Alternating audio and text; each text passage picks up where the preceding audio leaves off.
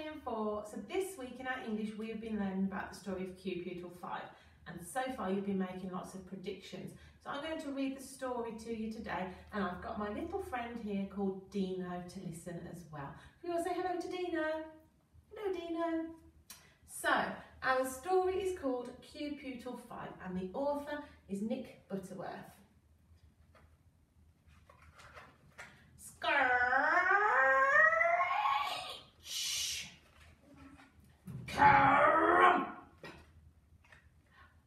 Q Pootle 5 He has come to Earth. But Earth is not where Pootle 5 wants to be. He is on his way to a moon party for his friend Z Pootle 6. But something has gone wrong. Oh no. Pootle 5 has a problem with his spaceship. One of the rocket boosters won't boost. The spaceship won't fly. Pootle 5 looks carefully at the rocket booster. Hmm, he says.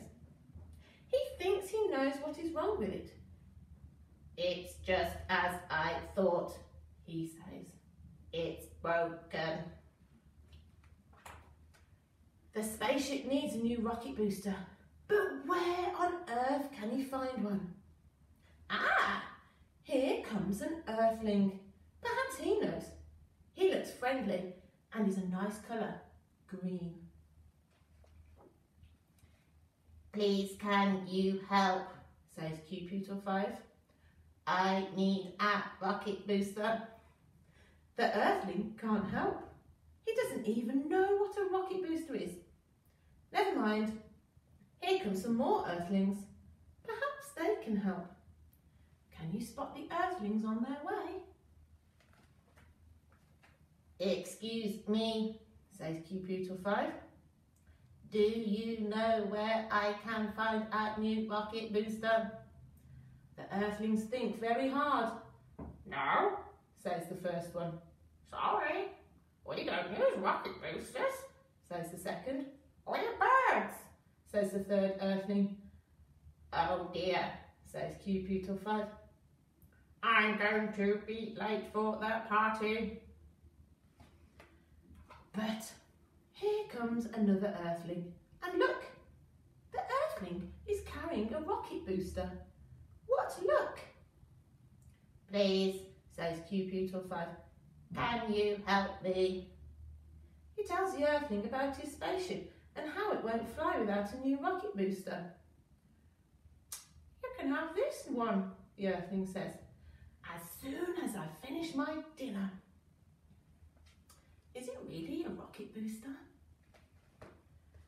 The earthling is called Colin and he is pleased to help.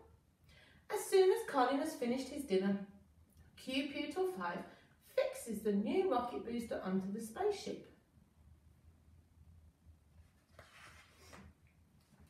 Q Pootle 5 climbs into his spaceship. He presses the starter button, but nothing happens. Oh, be bother Bootle, says Q Pootle 5. I'm going to be late and Z Pootle 6 will be upset. And he scratches his head to think. Colin looks very carefully at the spaceship.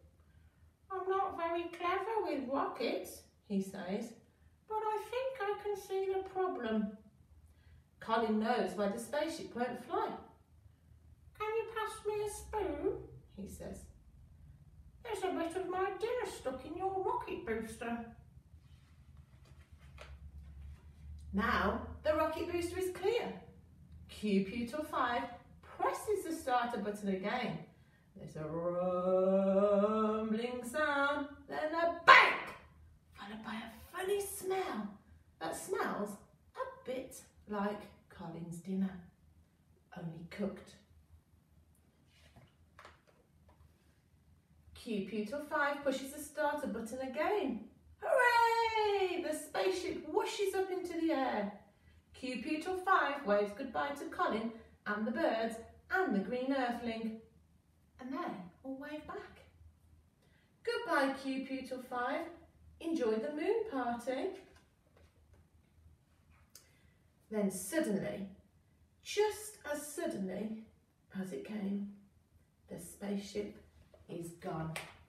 And Q 5 makes it to the moon party just in time to see his friends. Bye.